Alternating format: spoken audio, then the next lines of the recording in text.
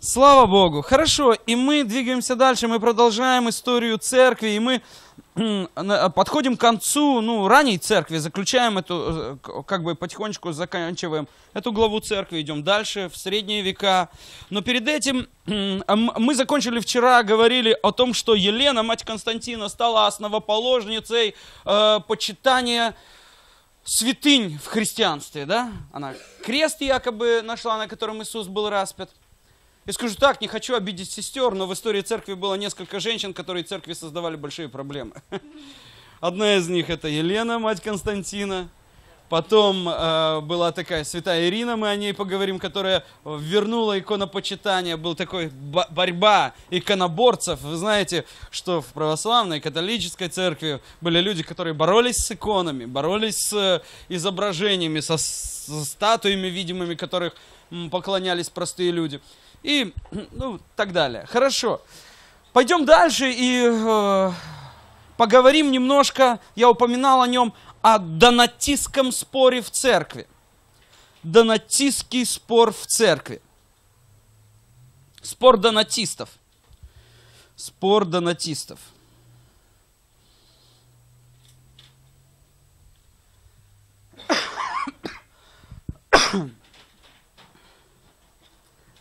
Спор донатистов. А Так он назван в честь епископа, как бы по имени, скажем, не в честь по имени епископа Доната. А заключался он в следующем. В Карфагене должны были избрать нового епископа. И было несколько претендентов на эту должность. Это были два епископа Борт и Целесий. И был также э, диакон Тицилиан. Конце концов, все-таки чаша весов, а, скажем так, была на стороне Цицилиана, перевесилась в сторону Цицилиана, и его поставили карфагенским епископом. Те были против. И знаете, суть вообще спора была а, в делении мест начально, сам корень, да, сам мотив этого спора. Но зацепили другие вещи.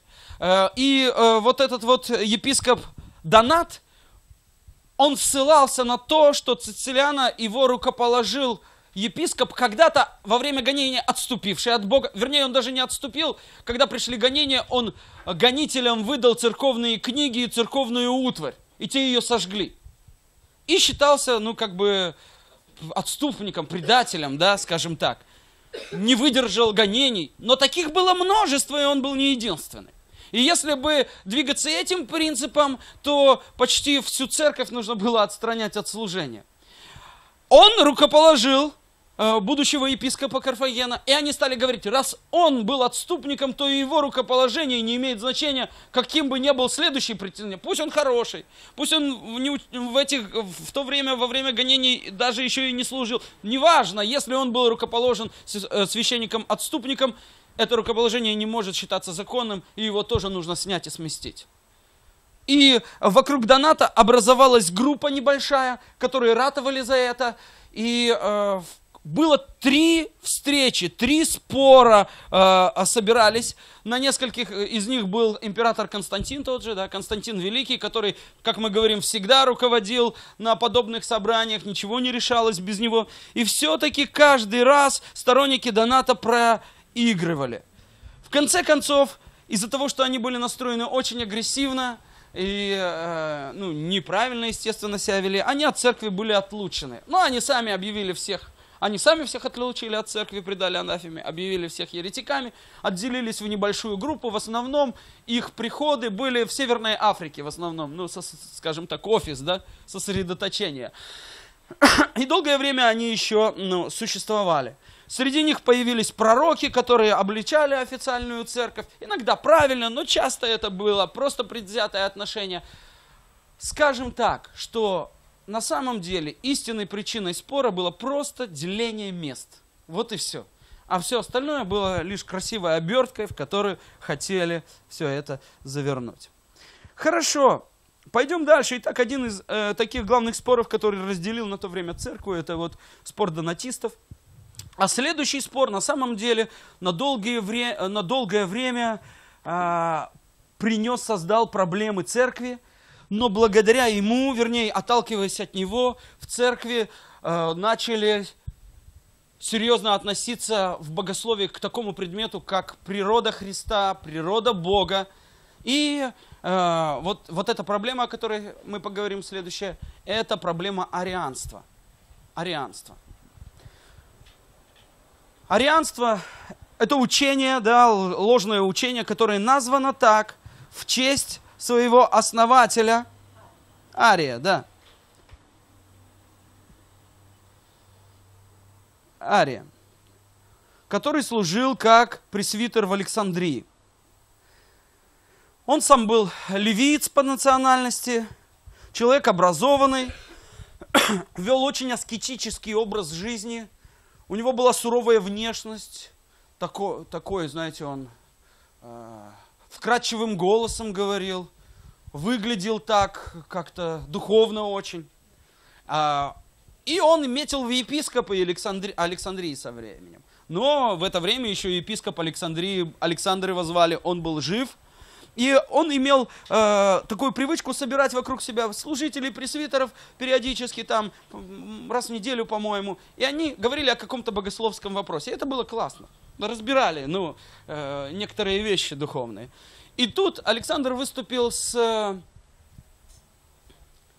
проповедью небольшой, скажем так, о троединстве Бога, да? Бог – это троица в единице, единица в троице и так далее. Он разворачивал эту тему. И тут вдруг Арий очень агрессивно восстал против него и стал доказывать обратное.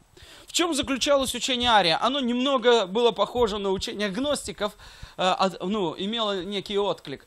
В общем, он говорил следующее, что есть единый Бог, Творец неба и земли, Отец – Христос же является тварью, то есть творением, существом сотворенным, не рожденным, а сотворенным. И было время, когда Христа не существовало абсолютно. То есть он не вечный, следовательно, он не всемогущий, следовательно, и он не обладает атрибутами божества.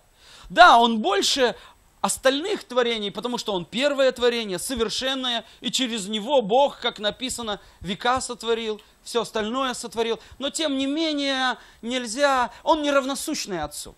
Он не равный Отцу по многим критериям. О Духе Святом он не, не имел ясного представления, но некоторые его последователи говорили о Духе Святом тоже как о творении, еще об, об, об одном творении. И сегодня отголоски этого учения встречаются у свидетелей Иеговы. Александр обвинил Ария в богохульстве, начался серьезный спор, и оказалось в это время, что у Ария, оказывается, уже есть множество последователей. Среди диаконов, среди служителей. Э, и интересно, что церковный историк, известный Евсевий, частично также поддерживал Ария. В, этой, ну, его, в этом его заблуждении между ними шла серьезная переписка этот спор настолько ну, э, был развернут серьезно, что в империи начались проблемы, несогласия, и это затронуло даже императора Константина. Константин, мы уже говорили, да, влезал во все церковные моменты, он не хотел, чтобы империя была разделена этим спором, ему нужна была сильная империя – и он решил собрать, постановил собрать э, Вселенский собор. И первый Вселенский собор мы называем это первым Вселенским собором. Он произошел по инициативе Константина в Никее в 325 году. Первый Вселенский собор в Никее, 325 год.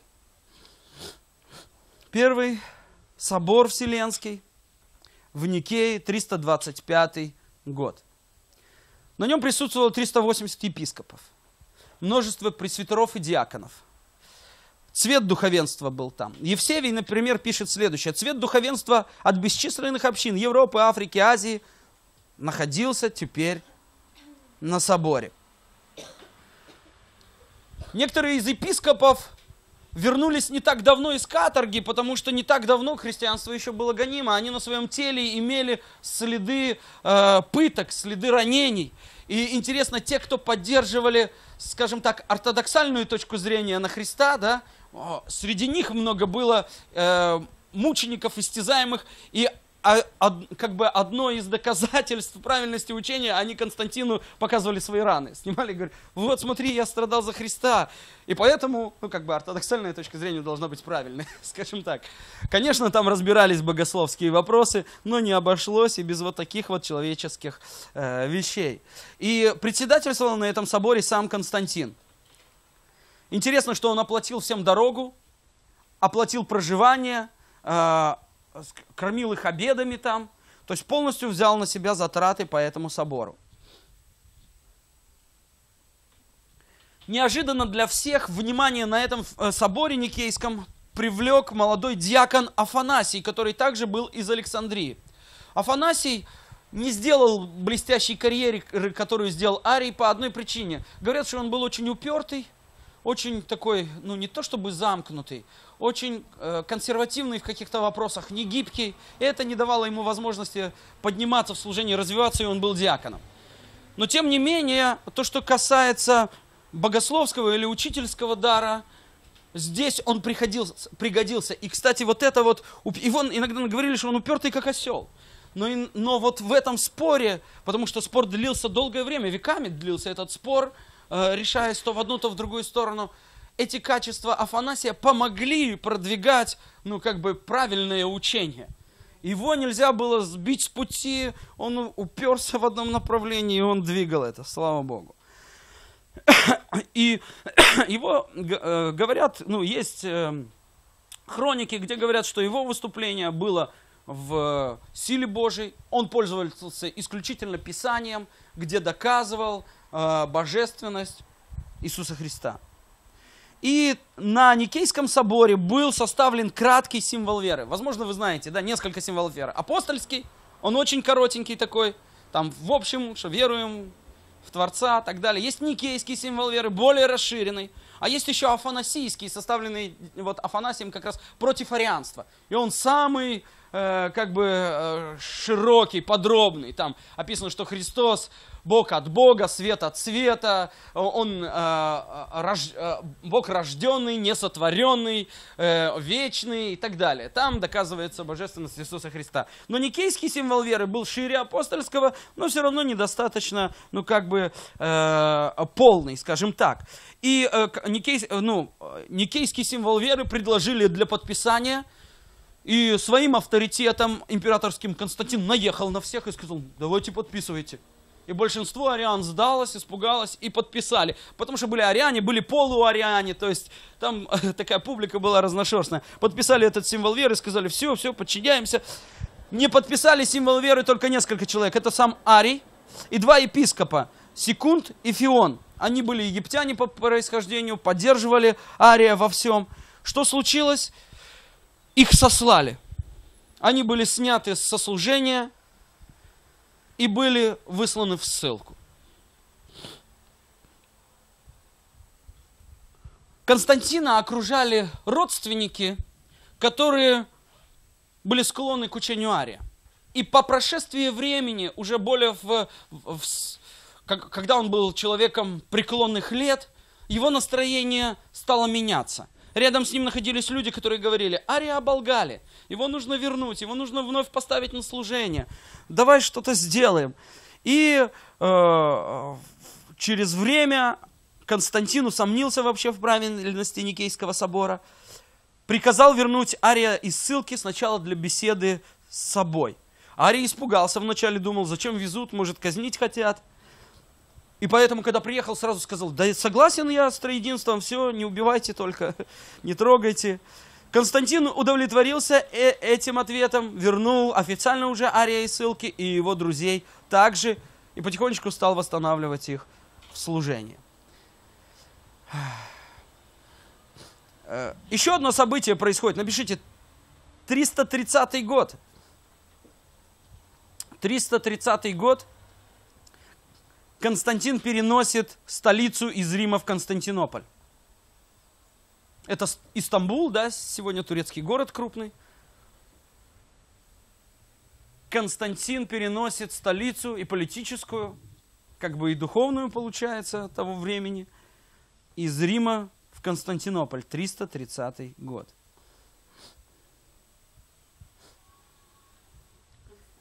Константинополь, да, он назывался. Константинополь.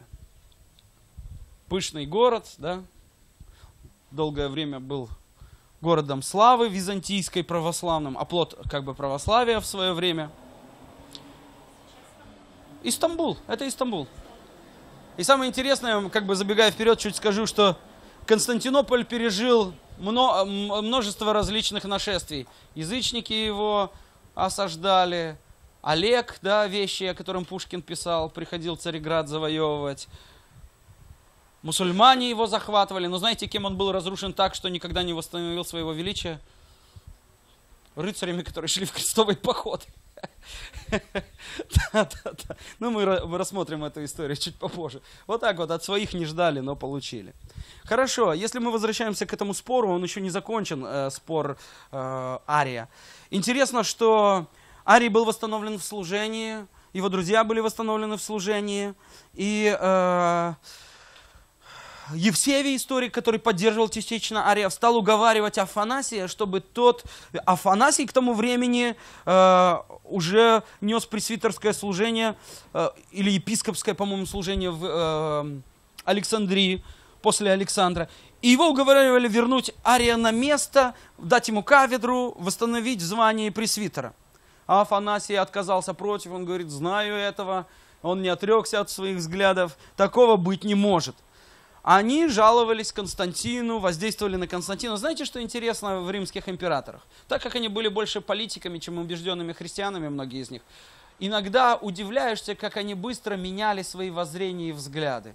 Два года, и, и уже думал по-другому человек. Еще время проходит, и он вернулся, возвращался к, как бы к своим первым выводам. Опять время, ни в чем нельзя было быть уверенными, представьте себе. Константин наезжает на Афанасия, как бы, ну, приказывает ему, Афанасий не подчиняется, и тогда уже Афанасия ссылают в ссылку, а Ария ставят как э, пресвитера. Через время Константин лично встречается с Афанасием, и представьте себе, уже Афанасий производит на него впечатление.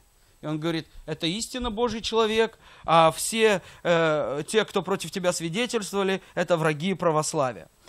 Но на этом история не заканчивается. Вот так вот несколько раз менялась, скажем так, власть. Было время, когда церковь в большей своей части, представьте, была арианской и была подвержена арианской ереси. Интересно, что среди ариан были э, серьезные миссионеры. Допустим, такой известен миссионер Ульфила, который проповедовал готам, воинственному племени германскому. Да? И э, долгое время жил среди них, у него была своя кибитка, он с ними и в походы ездил, еще куда-то, перевел Библию на их язык но не перевел э, книги царств и, и Паралипоменон, хроники. Почему? Потому что э, там много о войне написано, а они и так были не в себе, ну, по этому случаю. И он боялся, что, прочитав это в Священном Писании, они скажут, так мы правильно делаем. И как бы, чтобы угасить их воинственный пыл, он не переводил эти книги. И, по сути, он был тем, кто обратил их, но он был арианом. И было время, когда варварские племена, обреченные, обращенные в христианство, в основном были арианами, и многие из них э, силой оружия боролись с ортодоксами, скажем так, с теми, кто исповедовал по этому поводу правильное учение. Хорошо. А, Афанасия пытались несколько раз оболгать. Его обвиняли в том, что он убил одного епископа Арсения. Но потом на собор пришел Арсений, сказал, вот я живой, никто меня не убивал. Потом его, ну, если нельзя богословски, скажем так, его сместить, уже серьезные интриги было в то, были в то время в, иерар... в верхушке церковной. Его обвиняли в том, что он задержал там корабли с хлебом, которые а, а, ну, должны были ехать в Константинополь, чем вызвал голод. В общем, в чем только этого бедного Афанасия не обвиняли.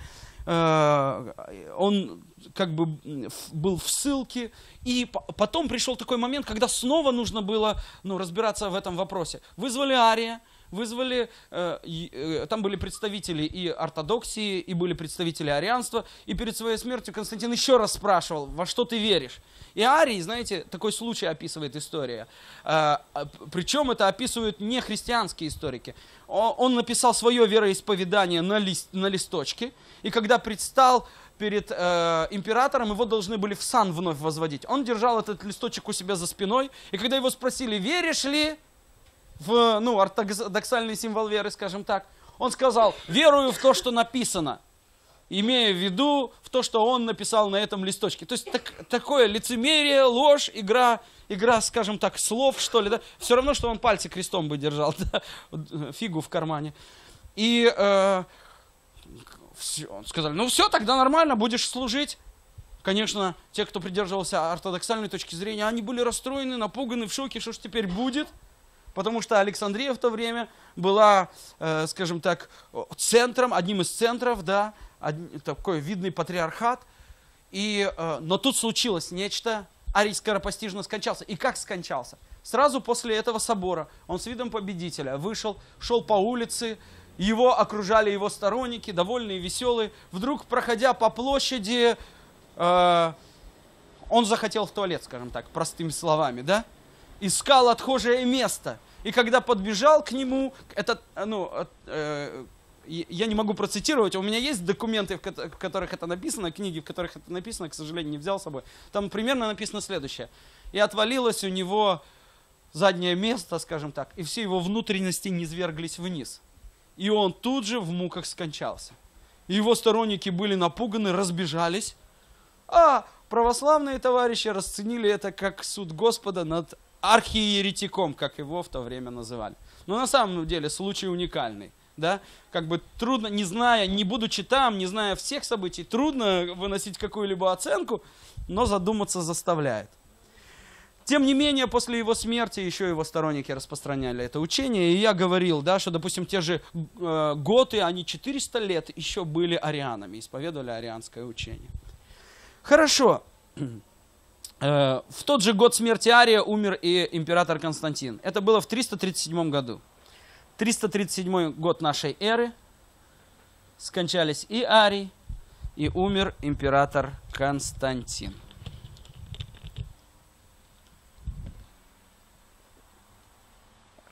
После Константина империю э, наследовали три его сына, и их тоже звали Константин, Констанций и Констанц. Наверное, у него с фантазией было плохо. Константин, Констанций и Констанц. Он еще при своей жизни назначил их кесарями, а после его смерти они поделили империю.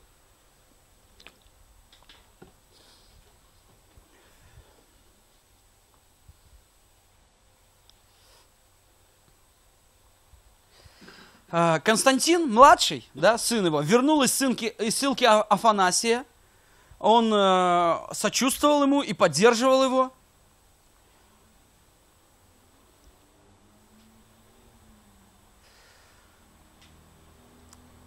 Также э, ортодоксальной, как бы, э, ортодоксального учения поддерживался и Констанц, а Констанций, их брат, наоборот, был последователем Ария.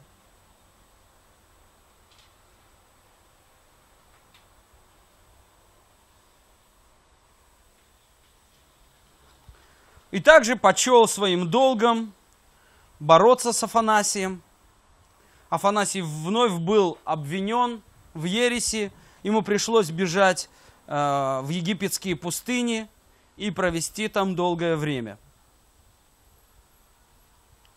В конце концов, ну, никого из этих э, детей Константина не стало, и на престол в Риме приходит человек, который известен под именем Юлиан Отступник. Так, вкратце мы тоже о нем поговорим. Юлиан Отступник. Так его назвали христианские историки из-за его желания реформировать язычество.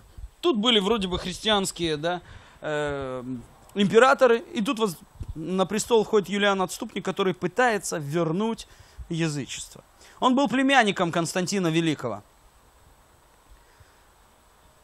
Воспитывался он под наблюдением епископа Евсевия, который сочувствовал арианам – но самое интересное, но также у него был учитель Евнух Мардоний.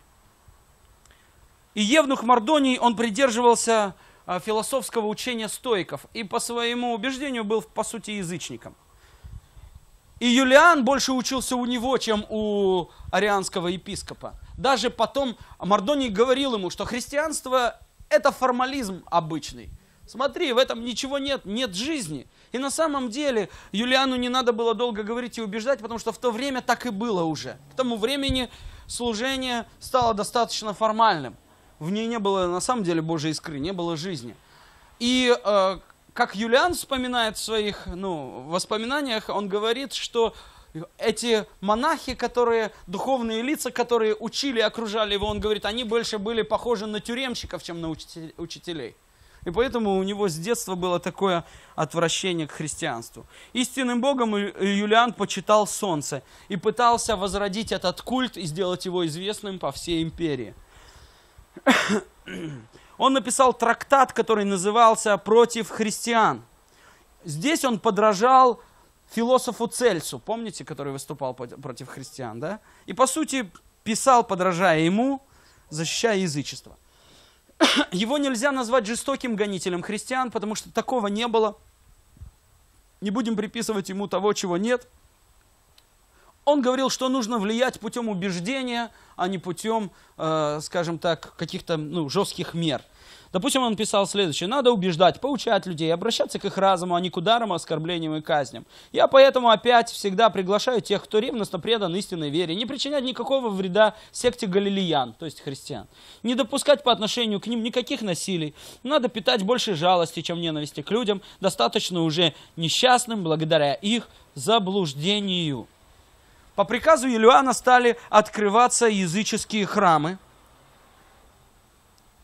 Христианским священникам было запрещено преподавать в светских школах. Туда стали пускать учителей от язычества.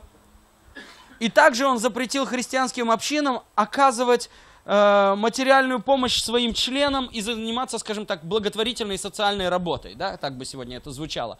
И наоборот, настаивал на том, чтобы это делали язычники. Жестких гонений не было, но были такие некоторые приняты хитрые приемы, чтобы ослабить влияние христиан и наоборот поднять авторитет язычества.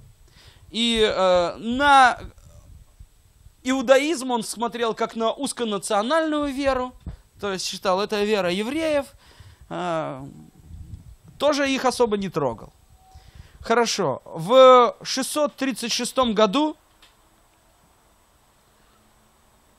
он умирает. И вместе с его смертью заканчивается попытка реформировать язычество. 363 год, он умирает, он смертельно ранен стрелой во время одного из походов. И вместе с его смертью не нашлось того, кто бы хотел дальше продвигать идею язычества. На его место после него приходит Иовиан, Иовиан, который отменяет все законы Юлиана. Угу. Иовиан отменяет все законы Юлиана. При нем Афанасий, который пережил многих своих врагов, возвращается из Египта. Народ с радостью его встречает, и Авиан восстанавливает его в епископском служении.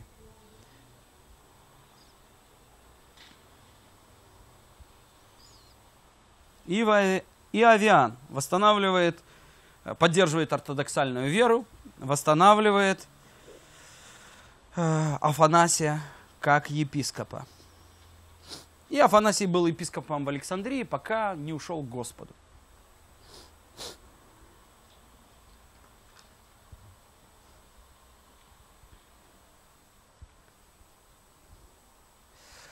Важнейшим борцом с арианством конечно, после Авиана было еще несколько императоров, о них не будем говорить, не столь это важно. Одним из известных борцов с арианством, язычеством, другими ересями был император Феодосий. Вот при его правлении христианство было ну, названо официально религией Римской империи уже. До этого мы знаем, да, была попытка реформировать язычество – там ариане к власти приходили. Император Феодосий выступал против арианства, язычества, других ересей. Это не значит, что он был чудесным христианином. Но, тем не менее, он делал эти вещи, он делал эти попытки. Он хотел прекратить распри среди христиан и искоренить язычество полностью. По национальности он был испанец, это исключительный случай, когда римским э, императором был не римлянин, да, а испанец по происхождению. И сами испанские христиане, они были горячими приверженцами Афанасия и ортодоксальной как бы веры, и э, боролись с арианством в вопросе божественности Христа. Э, государственной. Государственной. И пытался объединить христиан, чтобы уже не было распри. Хорошо. В первый год своего царствования он тяжело заболел, он не был еще крещен, тяжело заболел – испугался, когда заболел, и поэтому поспешно крестился. Сразу после этого он издал эдикт. И я процитирую несколько вещей из эдикта. Он написал следующее. «Это наша воля, чтобы все народы, которые находятся под нашим кротким и снисходительным правлением, твердо держались религии, которую римляне приняли от Петра. По наставлению апостола и учению Евангелия мы должны веровать в божество Отца, Сына и Святого Духа, как равных по величию и представляющих Святую Троицу. Кроме осуждения посредством божественной справедливости, противодействующие должны противодействующие должны ожидать строгих наказаний, которые наш, руководимый небесной мудростью авторитет, почтет удобными вам назначить. И так далее. И интересно, что император Феодосий созвал Второй Вселенский собор. Это было в 381 году в Константинополе. Второй Вселенский собор при Феодосии. 381 год, Константинополь.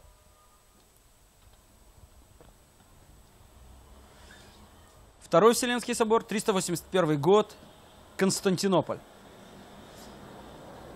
Главным вопросом было также осуждение арианства еще раз и э, единство христиан. Скорее, единство христиан, прекращение распри между христиан и было ну, главным вопросом этого собора. Что можно сказать о Феодосии? Феодосий, у него был неуравновешенный характер достаточно. А, он мог, у него был неконтролированный гнев, он легко раздражался – но когда успокаивался, был очень кротким и смиренным. То есть так, в, в крайности в своем характере уходил. И я расскажу вам вот такой вот случай, который был при его правлении. А, в городе Фессалоника проходи, происходили, там был ипподром, да, и были скачки. Это было одним из самых любимых э, развлечений фессалоникийцев. И э, одна, один из самых успешных жакеев, да, был осужден за преступление, реально за преступление. Его арестовали, да, наместник, а, посланный Римом, арестовал его и содержал под стражей. И когда люди пришли смотреть на это зрелище, узнали, что их любимца нет, сказали, да и нет смысла тогда проводить эти скачки. И стали бунт, бастовать, бунтовать. Немного было нужно народу раньше, чтобы поднять бунт. Они обратились к представителю власти, чтобы он освободил его. Тот отказался, и тогда народ в гневе прорвал э, охрану, и этого наместника убили просто-напросто. И начался бунт такой. Из-за ерунды вообще. Ну, так вот. Услышав об этом, Феодосий послал отряды туда, чтобы разобра... жестоко разобраться с ними. Убивать всех, кто бунтует. Интересно, что э, к нему обращается епископ Амвросий, а, в то время известный епископ церкви, и говорит, наказывать нужно не всех, а только виновных. Проведите расследование и накажите тех, кто виновен. Феодосий успокоился уже сказал, хорошо, хорошо, я напишу письмо, чтобы не всех наказывали. Но тем не менее, а, а, тянул с этим письмом, и войска прибыли туда раньше, чем дошло письмо. Конечно, устроили кровавую баню, на стадионе всех там порезали, потом вышли на улицу, не щадили ни стариков, ни детей. В общем, устроили такую кровавую расправу с жителями города – что интересно, что епископ Амвросий, услышав об этом, отлучает императора от церкви. То есть набирается смелости и говорит, что теперь ему вход, вход в церковь запрещен.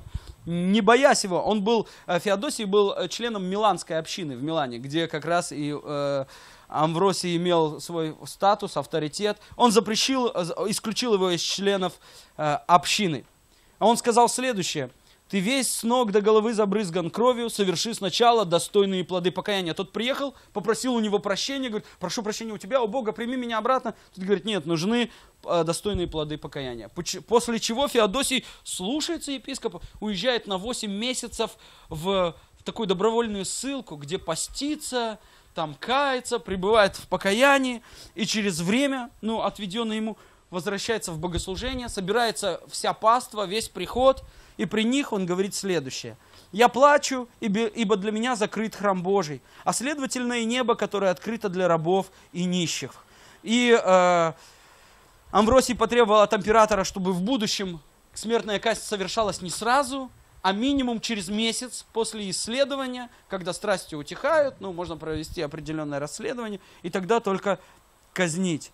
И он соглашается с этим э, требованием, снимает себя императорские одежды, в присутствии всего народа он становится на колени и говорит следующее. «Душа моя повержена в прах, оживи меня, Господи, по слову Твоему». Цитирует Псалом, да?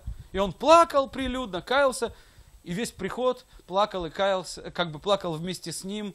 Ну, не знаю, если бы я видел такое, такую ситуацию, наш президент так делал, наверное, меня тоже бы коснулось, да? А, вот. Не, знаю, насколько он был христианином. Может и был, ну, может, был политиком, не знаю, но его многие действия были достаточно искренними, да, достаточно открытыми. А вот. И епископ Амвросий был первым епископом, который имел, имел такую власть над императором. И умер Феодосий в 395 году.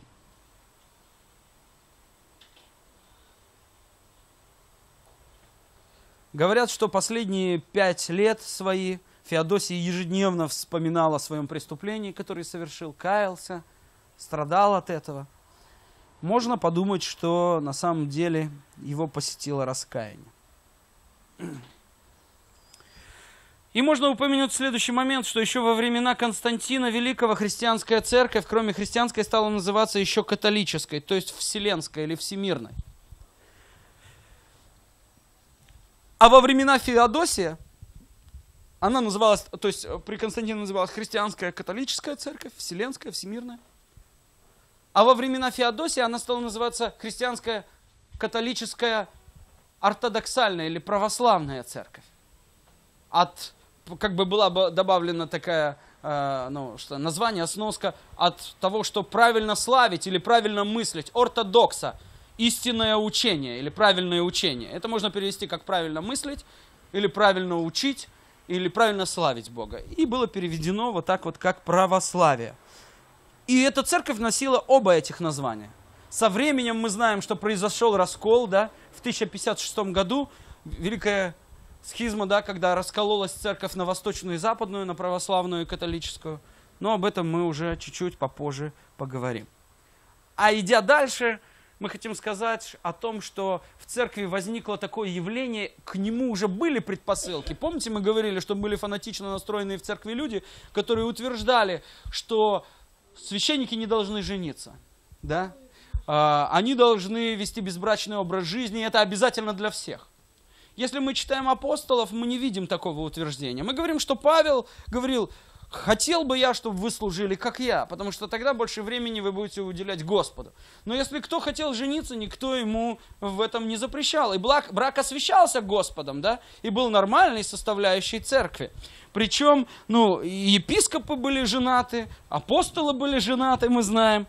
Но э, третий, четвертый век, э, вот, э, вот эти вот предпосылки, они выливаются в то, что мы сегодня называем монашеством движения монашества.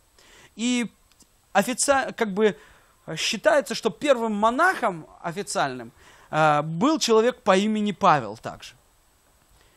Он был еще, жил еще при императоре Деции. Помните, мы говорили, были жестокие гонения да, при этом императоре.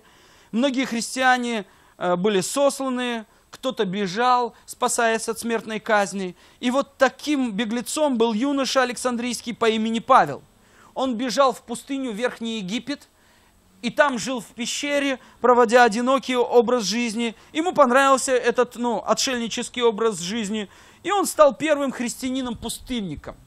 Были люди, которые вели, вели аскетический довольно образ жизни, но в городах, а он был тем, кто удалился очень далеко и, и находился там.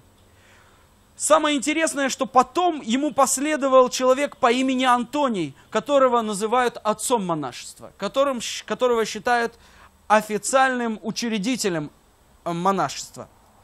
Антоний, будучи молодым христианином, посетил однажды, слыша о Павле, посетил Павла и попал под его сильное влияние. Попав под его сильное влияние, он раздал все свое имущество, э, полученное по наследству, э, свою сестру родную, как бы отдал, уже были тогда такие дома для девственниц, которые жили отдельно и посвящали себя Богу.